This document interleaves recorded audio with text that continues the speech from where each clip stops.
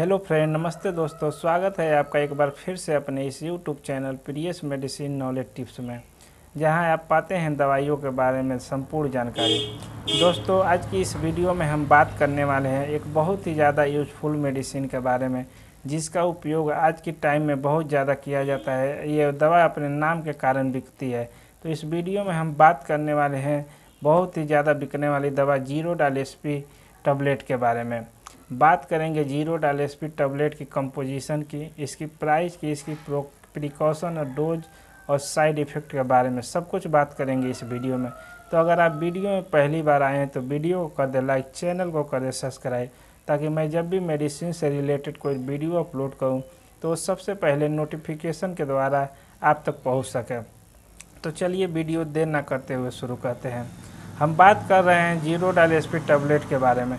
अगर बात करें ज़ीरो एस टैबलेट की कंपोजिशन की तो इसमें तीन दवाओं का कंपोजिशन होता है, जिसमें से पहला दवा जो होता है वो होता है एसिक्लोफेनिक तथा दूसरा होता है पैरासीटामल और तीसरा होता है सेसेरियोपेप्टिडेज अगर बात करें एसिक्लोफेनिक की तो हंड्रेड एम में, तथा पैरासीटामल तीन सौ पच्चीस एम में, तथा सेरिसियोपेप्टिजेड पंद्रह एम में पाया जाता है। अगर बात करें इस टबलेट की प्राइस की तो इसकी एक स्ट्रिप की प्राइस जो कि दस गोलियों का होता है, उसका प्राइस लगभग एक सौ उनतीस रुपया होता है।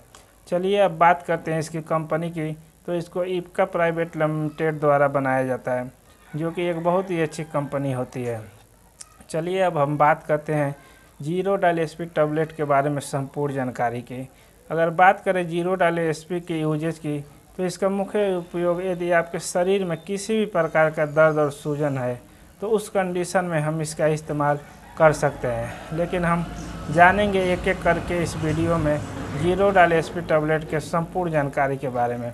यदि बात करें हम इसके पहला यूज़ का तो इसका पहला यूज़ बैक पेन में करते हैं। यदि आपके कमर में बहुत ज़्यादा दर्द हो रहा है, दर्द के साथ सूजन हो मोच हो तो उस कंडीशन में हम इस ज़ीरो डाल एस टैबलेट का इस्तेमाल करते हैं।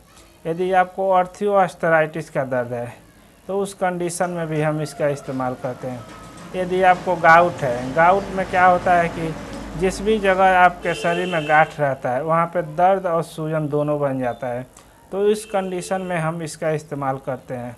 अगर बात करें हम इसके अगले यूज़ का तो इसका अगला यूज़ होता है कि यदि आपको किसी भी प्रकार की दांत में इन्फेक्शन हो गया है दांत से पस आ रहा है और पस के साथ आपको बहुत ज़्यादा दर्द और सूजन बना हो। तो डॉक्टर के, दांत के डॉक्टर के द्वारा सबसे ज़्यादा ज़ीरो डालेस्पी टैबलेट को प्रिस्क्राइब किया जाता है और इसका रिज़ल्ट भी बहुत शानदार देखने को मिलता है।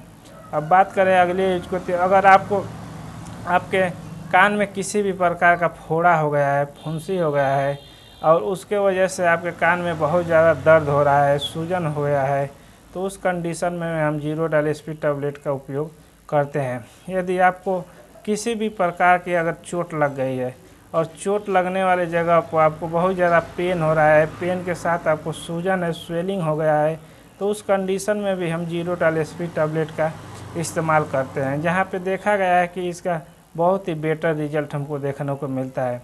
यानी आपको किसी भी प्रकार के शरीर में दर्द हो, बुखार हो, सूजन हो तो इन तीनों कंडीशन में हम ज़ीरो डाल स्पीड टैबलेट का उपयोग करते हैं। इसका रिज़ल्ट बहुत ही अच्छा देखने को मिलता है। चलिए अब बात करते हैं इसके अगले यूज़ की। तो इसका अगला यूज़ सबसे ज़्यादा यूज़ किया जाता है यदि किसी को एक्सीडेंटल चोट लग गई है और चोट वाले जगह पर हमेशा सूजन बना रहता है तो उस सूजन के दूर करने के लिए हम ज़ीरो डाल स्पीड टैबलेट का इस्तेमाल करते हैं। अब चलिए बात करते हैं ज़ीरो डायल स्पीड टैबलेट को लेने के सही तरीका को। यदि आपका एज एडल्ट ग्रुप है, यानी बारह प्लस है तो आप इस एक गोली सुबह और एक गोली शाम को खाना खाने के बाद से पानी से ले सकते हैं। यदि आपका एज बारह प्लस से नीचे है, बारह से नीचे है तो आप इसकी आधी गोली सुबह और आधी गोली शाम को खाना खाने के बाद ले सकते हैं।